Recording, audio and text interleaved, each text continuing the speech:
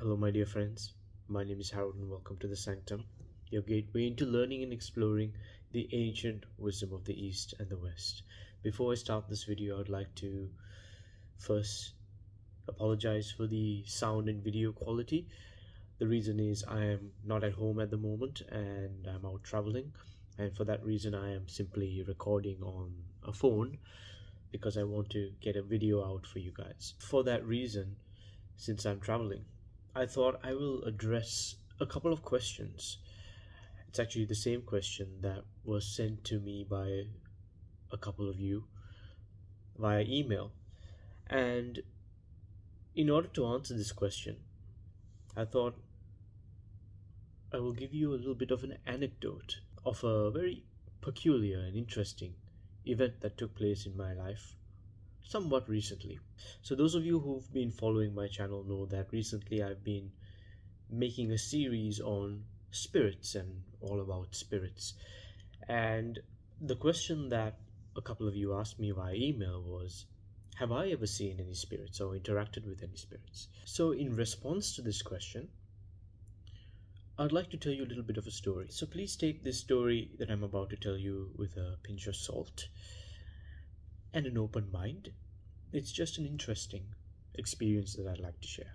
So, when I first moved into the place that I live in right now, in London, in the United Kingdom, where most of my videos are shot, not this particular one because I'm away, but the one last week and the one next week is shot in that particular place.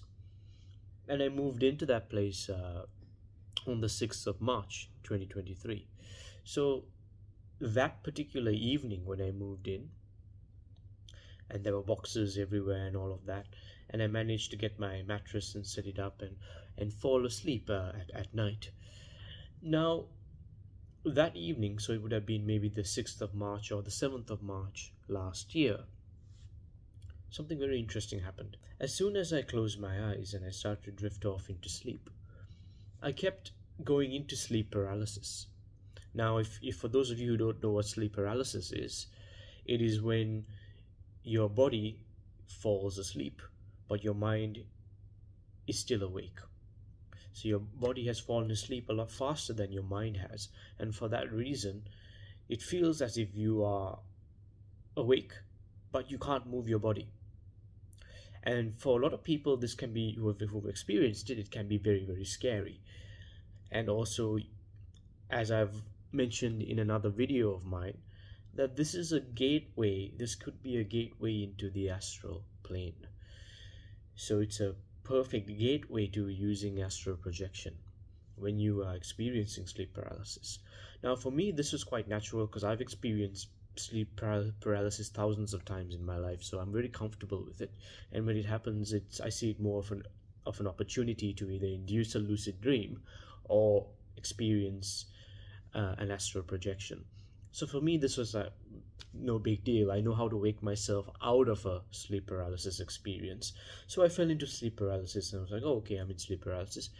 And but then suddenly what happened was while I was experiencing sleep paralysis, I would feel somebody quite aggressively poking me and shaking me like this. So I thought that was kind of strange. But anyway, I knew how to wake myself up and I woke. And anyway, I didn't think much about it and I just closed my eyes and drifted back into sleep. But this time, once again, immediately I entered into sleep paralysis. Again, this a second time. But this time, once again, I, I felt somebody shaking me, and then I heard a little girl screaming into my right ear. And then once again, I woke up and I thought, oh, that, that's really strange. Closed my eyes again, again went into sleep paralysis. And this started repeating itself for about 10 to 12 times, where I would just wake up, go back into sleep paralysis. People were shaking me, tickling me, poking me, people screaming in my ear. I heard a man's voice at one point, and all of this was taking place. And I kept waking up, going back into sleep, sleep paralysis, and all these strange things started to occur until I was like, okay, this is just too much. I'm just going to try to sleep again because I had a really busy day the next day and I needed to get some rest. So I closed my eyes again, went back into sleep, sleep paralysis, and decided to do an astral projection.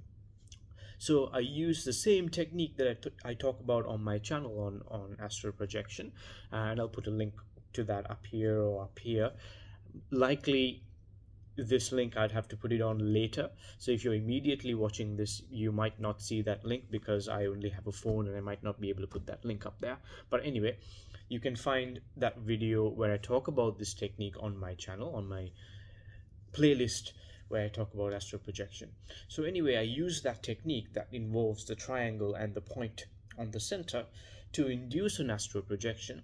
And then in a very short period of time I found myself out of my body in the astral or more like the etheric because the etheric plane is more similar to the environment that one can find themselves in. So the my room kind of looked a little bit like my room it had that somewhat solid structure of my room so it was more etheric than astral because when you're experiencing an astral projection you can manifest in different densities within the astral. The more higher you find yourself in vibration in the astral, the less form like things are, and things start to be a little bit hazy and liquid like and not really.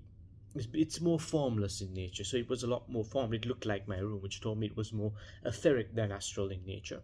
And I found myself in my room, and then to my surprise, right in front of me in my room was a man, maybe in his mid 40s to early 50s.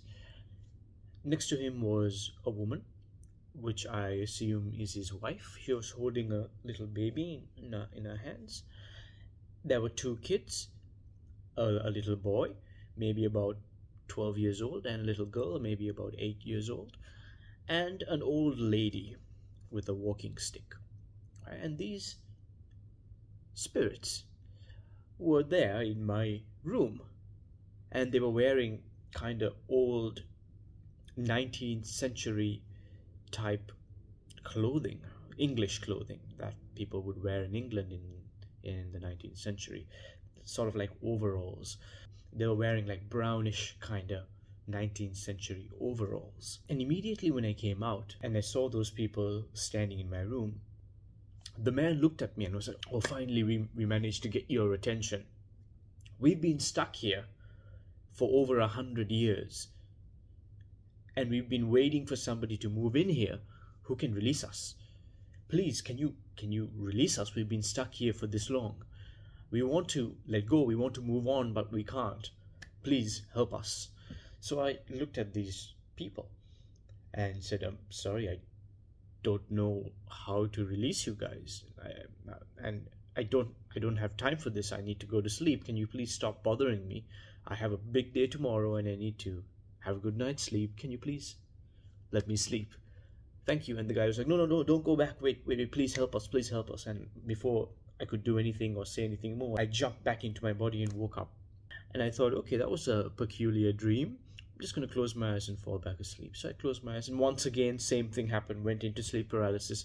People felt people shaking me, people screaming into my ear, all of that, and kept waking up, falling asleep, going back into sleep paralysis. And this continued again for another 10 to 12 times until I decided, oh, I'm going to use astral projection again. So I came out of my body found myself in the room again. The same people were there in my room. This time the man was there with his hands together like this on the floor saying, Please release us. We're going to keep doing this.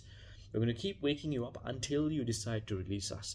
And at this moment, I didn't know what to do. I was like, Guys, I don't know how to release you all. I don't, I, I really don't know. And then suddenly, what I realized, wait, hang on a minute. I do know. And suddenly, this it was almost like a download. It just came to me. And I realized, wait, I do know how to release these guys. And I don't know what made me do this, but I decided to close my eyes or my astral eyes and tell myself I'm becoming lighter in density. I'm becoming more and more and more subtle.